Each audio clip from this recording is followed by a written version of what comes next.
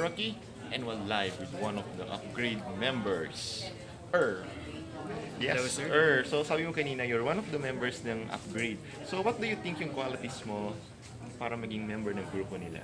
Well, actually, I've been with the group since walang tulugan pa before. So, I've been with them as friends before. So, actually, nung time na nag-audition ako, I wasn't expecting na I was auditioning for the boy band. Pero yun nga, sinabi sa akin na it's a boy band, nagulat ako and I felt honored na kinuha nila ako. Kasi makasama na kami before, tsaka friends na rin kami. So I think yung qualities is because um, they need um, someone who can sing, who can dance, who has looks. Pero hindi ko na sinasabi na I'm that overconfident. Pero the most thing na ikiniyayabang ko is because uh, to inspire and to aspire people.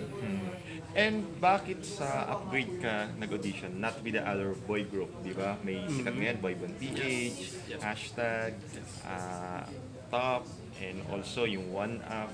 So, why, why upgrade?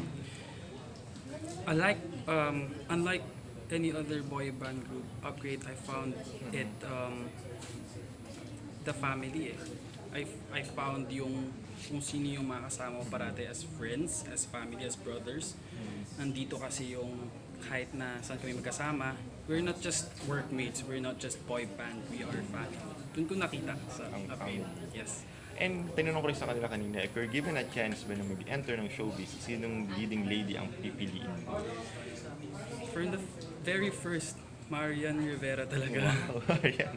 Why Marian? So, eh, parang ikaw yung labas sa kanila, eh, si Marian. Matagal ko na siyang nasusubaybayan. Simula pa lang nung nakita ko siya dati actually sa Super Twins as uh, the kontrabida. Ah, Tapos, parang ano, nanay nila yes. Jeneline and Navin. Simula nung nakita ko na sinubaybayan ko na siya from um, Marimar to Jezebel to other teleserye. Pero mas matanda siya sa'yo, so okay lang ba na maging... Still okay, it's Marian, it's Marian. Pero as Marian, natambal na rin kay Alden dati, which is younger Yes. sa kanya, no? So ikaw, willing ka rin makatambal kay Marian. Very willing. And If ever given the chance, yes, why not, diba?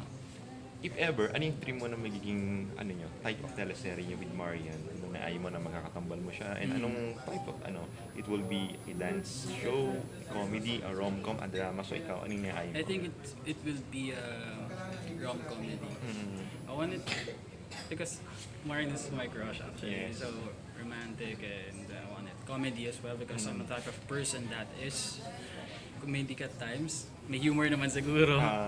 so very ano kasi ako um kolokoy, mga ganun term. Ganun talaga ako, funny person ako pagkasama yung group. Pero si Marian, nakita mo na siya in person? Yes, actually nakasama namin siya sa Walang Tulugan before. Mm. Tsaka sa Ayun, unang nag-guest hirit. ka. Yes. How uh, how about yung, di ba si minsan si Marian, may mga issues siya, nababa. So how do you react on that? May mga negative issues kay Marian? Yes, Or I ikaw? actually hear those issues pero for me I don't believe those issues kasi not being biased pero kasi Yes. nakilala ko na siya as being Marian um, personally nakilala ko na siya so there's no for me there's no negative naman sa kanya she's really accommodating them talaga Okay. And one last thing na lang, given a chance na mag-offer sa kapamilya and kapuso, ano sa dalawang network ang pipiliin mo? Given two Mm-hmm. equal opportunities. siguro time will tell time will tell pero why not if kung sinong mag-offer why not those are big networks Oo nga eh. so And siguro willing time ka will rin tell bang mag-leave or iwan yung upgrade in case na magkaroon ng better opportunity? upgrade is my family siguro time will tell very safe Kasi nasa showbiz na. Yeah, yun. Okay. But time will tell. Thank you, Er, and good luck sa upcoming Thank you, event. Rocky. Thank you so Thank much. you. So, watch natin siya together with Upgrade. Thank you, guys. Thank you.